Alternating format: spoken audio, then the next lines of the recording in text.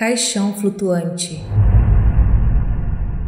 Olá, meu nome é Camila e moro em Dracena, interior de São Paulo. Eu já vivi muitas coisas sem explicação, coisas que se movem sem que ninguém esteja próximo, passos, vozes, coisas ou pessoas que não estão ali. Porém, o que irei contar aqui não aconteceu comigo, e sim com a minha mãe há mais de 40 anos. Ela sim tem muitas histórias arrepiantes que viveu. Enfim, vamos à história. Minha mãe ainda era jovem, com mais ou menos 15 anos. Ela, juntamente com meus avós e meus tios, se mudaram para um sítio no Paraná. A casa para a qual se mudaram era enorme, tipo aqueles casarões antigos. Moravam na casa, além da família da minha mãe, uma outra família composta dos pais e quatro filhos. Naquela época, era comum todos irem terços nas casas vizinhas, iam em um tipo de caravana, passavam uns nas casas dos outros e iam em procissão até a casa onde iria acontecer o terço. Vamos dar um tempinho aqui nesta história e fazer um apêndice. Na casa em que morava minha mãe, era comum os moradores, inclusive a própria progenitora que me deu a vida, eita que agora falei bonito, ouvirem barulhos durante a noite, mas nada tão assustador.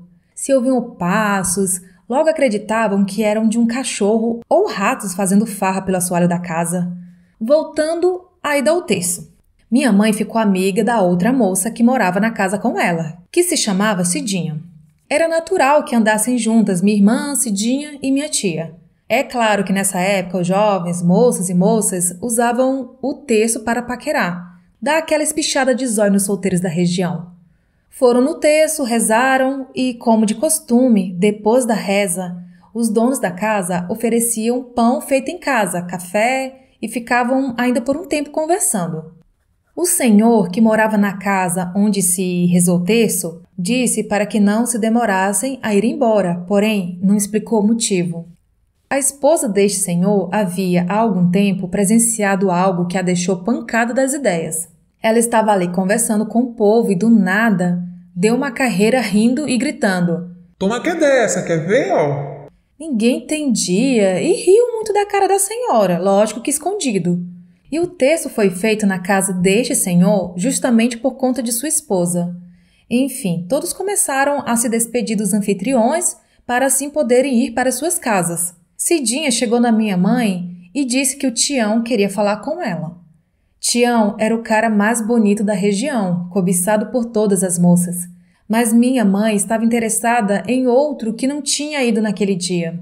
Ela ficou surpresa porque sabia que Cidinha, dentre outras moças, era mais interessada em Tião. Então minha mãe esperou Tião e com isso ficaram os dois para trás, cerca de uns 20, 50 metros do restante do povo. Já era por volta das 20 horas quando começaram a ir embora. Tião chegou e disse que Cidinha tinha dito que minha mãe queria falar com ele Daí minha mãe explicou que a Cidinha disse que ele queria falar com ela. E andando, tentando entender qual a intenção de Cidinha, quando a cerca de 50 metros viram que o povo corria. E aí, de repente, saiu da esquerda para a direita da estrada, que era ladeada por mata, um caixão preto flutuando cerca de um metro de altura na frente da minha mãe e de Tião. Os dois se agarraram e gritaram, e o caixão passando bem devagar, despreocupado com a vida, digo, com a morte. Depois que o famigerado caixão passou, minha mãe e Tião, ainda agarrados um ao outro, voltaram a andar. E o pior é que tinham que passar justamente no local onde o caixão havia cruzado a estrada. Enfim, não tinha outro jeito, foram os dois agarrados um ao outro até a casa dela. Detalhe é que a casa de Tião era antes da casa da minha mãe. E só para que fique claro que quando eu digo casa, eu quero dizer que todos ali moravam em colônias. E as casas ficavam distante uma das outras, tipo um quarteirão ou dois, se fôssemos medir na cidade. Naquela época, homem e mulher solteiros não podiam ficar abraçados, pois a mulher ficaria falada. O meu avô tinha sofrido um AVC e quase não andava, mas falou muito na cabeça da minha mãe e não quis nem saber da história que minha mãe Cidinha e minha tia tinham para contar sobre o caixão flutuante. Depois da confusão foram dormir. E é aqui que, por incrível que pareça, as coisas começam a ficar feias. A minha mãe, a minha tia a Cidinha dormiam no mesmo quarto. É claro que antes de dormir, o assunto era o caixão, que apenas alguns instantes atrás todos tinham visto.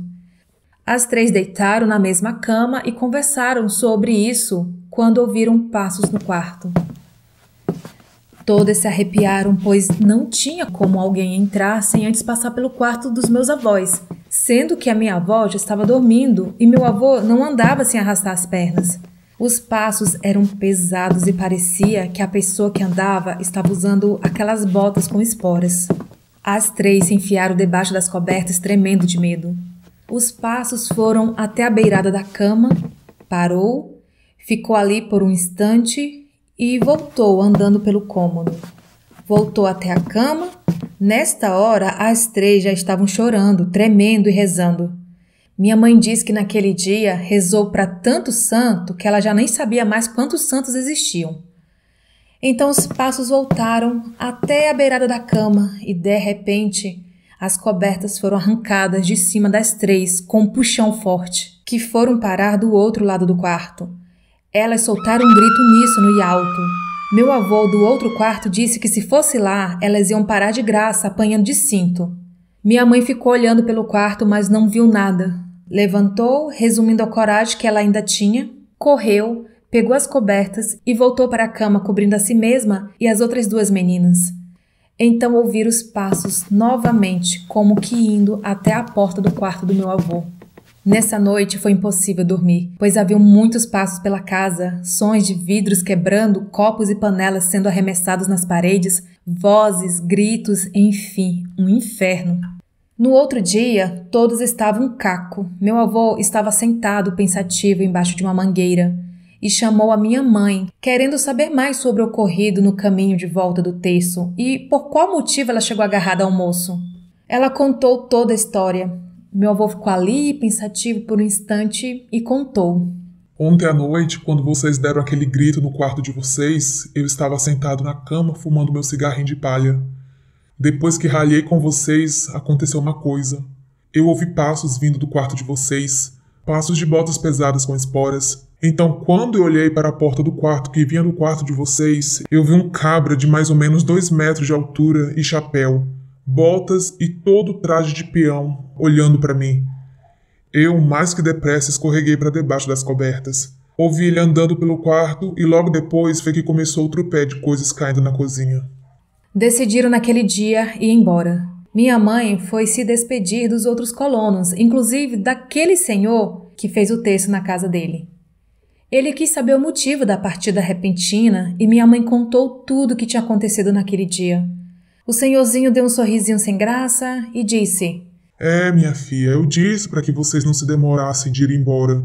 Minha véia ficou desse jeito depois que viu esse caixão. Lá onde vocês moram, aquela casa antes era um tipo de pousada com bar e bordel também. Os peão de trecho, aqueles que levam gado de um estado para o outro e outros viajantes, muitas vezes vinham para se divertir e passar a noite ali. Ali sempre havia brigas, pois homens bebem demais e perdem a cabeça por pouca coisa ou até mesmo por conta de uma das mulheres da vida que queria um outro já havia pego antes, e com isso havia muita morte, e nessa mata, dos dois lados, devem ter pelo menos 40 homens enterrados. Bem, naquele mesmo dia, minha mãe e meus avós, juntamente com a minha tia e meu tio mais novo, também vieram embora para o estado de São Paulo, deixando apenas meu tio mais velho para cuidar da venda dos móveis que ficaram lá.